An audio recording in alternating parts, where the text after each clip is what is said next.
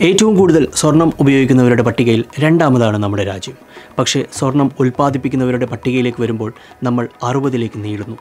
അതിൽ തന്നെ കോളാർ ഹട്ടി ലാവ എന്നിങ്ങനെ ചുരുക്കം സ്വർണഖനികളെക്കുറിച്ച് മാത്രമേ നമ്മളിൽ പലരും കേട്ടിട്ടുണ്ടാവുകയുള്ളൂ. ഒരു കാലത്ത് നമ്മുടെ കൊച്ചു കേരളത്തിലും സ്വർണഖനനം നടന്നിരുന്നുവെന്ന വസ്തുത തന്നെ പലർക്കും അറിയുക പോലുമില്ല. നിലമ്പൂരിലും അട്ടപ്പാടിയിലും സ്വർണമുണ്ടെന്ന് ജിയോളജിക്കൽ സർവേ ഓഫ് ഇന്ത്യ കണ്ടെത്തുന്നതിനും വർഷങ്ങൾക്ക് മുൻപേ നമ്മുടെ വയനാടൻ മലനിരകളിൽ വ്യാപകമായി സ്വർണഖനനം നടന്നിരുന്നു. ആദ്യകാലങ്ങളിൽ ജന്മികളുടെ കീഴിലുള്ള അടിയാളരായിരുന്നു ഖനനം നടത്തിയിരുന്നത്. പ്രത്യേകിച്ച് കുറുമ്പൻ എന്ന വിഭാഗമായിരുന്നു അടിയാളരിൽ ഏറെ പേരും. ഭരണാധികാരികൾക്ക് ജന്മി നികുതി കൊടുക്കുകയും ഖനി തൊഴിലാളികൾക്ക് നിശ്ചിത തറക്കൂലി കൊടുക്കുകയുമായിരുന്നു ശൈലി.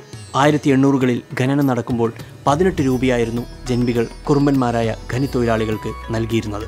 പിന്നീട് ജന്മികൾ ഭരണാധികാരികൾക്കുള്ള നികുതിയിൽ പിഴവ് വരുത്തിയതോടെ മുൻകൂട്ടി പണമടച്ച് ലൈസൻസ് എടുക്കുന്നവർ മാത്രം ഖനനം നടത്തിയാൽ മതിയെന്ന നിയമം വന്നു. ഇതിനോടുകൂടി ആയിരത്തി എണ്ണൂറ്റി നാൽപ്പത്തി മൂന്നിലെ ആക്ട് പ്രകാരം വയനാടിൽ അടിമക്കച്ചവടം നിരോധിക്കുക കൂടി ചെയ്തതോടെ ജന്മികളുടെ മേൽനോട്ടത്തിൽ നടന്നിരുന്ന ഖനനം ഏറെ അവസാനിക്കുകയായിരുന്നു. അടിമക്കച്ചവട നിരോധനം പ്രാബല്യത്തിൽ വന്നതോടെ നിലവിൽ അടിമകളായി ഖനിയിൽ ജോലി ചെയ്തിരുന്ന തൊഴിലാളികൾ കൂടുതൽ വേതനവും സ്വാതന്ത്ര്യവും ലഭിക്കുന്ന മേഖലകളിലേക്ക് ചേക്കേറി. അങ്ങനെയായിരുന്നു വയനാടിൽ കാപ്പിത്തോട്ടങ്ങൾക്ക് കൂടുതൽ വേരോട്ടം ലഭിച്ചത്. ജന്മികളുടെ നേതൃത്വത്തിൽ തുടങ്ങി അവസാനിച്ച സ്വർണ ഖനനം വീണ്ടും തിരിച്ചെടുക്കാൻ പിന്നീട് ആയിരത്തി എണ്ണൂറ്റി എഴുപത്തിയെട്ടുകളിൽ സർക്കാർ തന്നെ മുന്നിട്ടിറങ്ങി. ഒരു ഗോൾഡ് റഷ് ആയിരുന്നു പിന്നീട് വയനാട്ടിൽ സംഭവിച്ചത്. കൂടുതൽ ചട്ടങ്ങളോടെയും പുതുക്കിയ ഖനന വേതന നികുതി വ്യവസ്ഥകളും സർക്കാർ അച്ചടിച്ച് വിതരണം നടത്തി. ഇതിനു പുറമെ ഭൂമിയിൽ നിന്നും ലഭിക്കുന്ന മുഴുവൻ വിലപിടിപ്പുള്ള വസ്തുക്കളുടെയും പൂർണ ഉടമസ്ഥത സർക്കാരിന്റേത് മാത്രമായിരിക്കും എന്നും ചട്ടം വന്നു. വൈത്തിരി സുൽത്താൻ ബത്തേരി ദേവാല എന്നീ സ്ഥലങ്ങളിലായിരുന്നു ഏറ്റവും കൂടുതൽ ഖനനം നടന്നിരുന്നതെന്നാണ് ചരിത്രരേഖകൾ വ്യക്തമാക്കുന്നത്. ഇക്കാര്യം മലബാർ കളക്ടറായി സേവനമനുഷ്ഠിച്ചിരുന്ന വില്യം ലോഗനും ശരിവെക്കുന്നതായി കാണാം.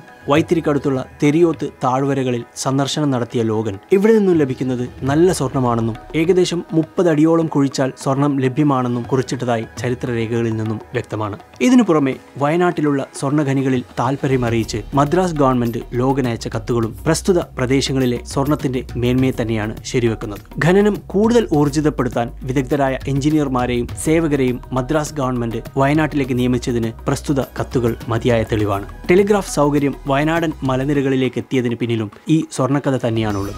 മാർക്കറ്റ് വിലയും ഖനന പുരോഗതികളും ഉൾപ്പെടെയുള്ള സംഭാഷണങ്ങൾ സുഖകരമാക്കുന്നതിനായിരുന്നു ടെലിഗ്രാഫ് സൗകര്യം ഉറപ്പുവരുത്തിയത്. ബോംബെ നാഗ്പൂർ ലാഹോർ കൽക്കട്ട എന്നിവിടങ്ങളിലുള്ള മ്യൂസിയങ്ങളിൽ പ്രദർശിപ്പിക്കാൻ വയനാടൻ സ്വർണത്തിന്റെ മാതൃകകൾ അയച്ചു കൊടുക്കാനും മദ്രാസ് ഗവൺമെന്റിന്റെ ഉത്തരവുണ്ടായിരുന്നു. ഒരു കാലത്ത് ജന്മികളും സ്വകാര്യ വ്യക്തികളും ഗവൺമെന്റും ഏറെ ലാഭം കൊയ്ത വയനാട്ടിലെ സ്വർണഖനന സംരംഭം അവസാനിപ്പിക്കാനുണ്ടായ കാരണം വ്യാവസായിക അടിസ്ഥാനത്തിൽ വൻതോതിൽ ഖനനം ചെയ്യാനുള്ള പ്രയാസങ്ങളും ഇതിനാവശ്യമായ യന്ത്രങ്ങൾ എത്തിക്കാനുള്ള ബുദ്ധിമുട്ടും കാപ്പി കൃഷി വ്യാപകമായതോടെ തൊഴിലാളികളുടെ ചൂടുമാറ്റവുമൊക്കെയായിരുന്നു ഇന്ന് ആരും ആ പ്രദേശങ്ങളിൽ ഖനനം നടത്താത്തതുകൊണ്ട് തന്നെ എടുത്തുതീരാത്ത സ്വർണം ഭൂമിക്കടിയിൽ നിധികുംഭങ്ങളായി ഇനിയും അവശേഷിക്കുന്നുണ്ടാവണം.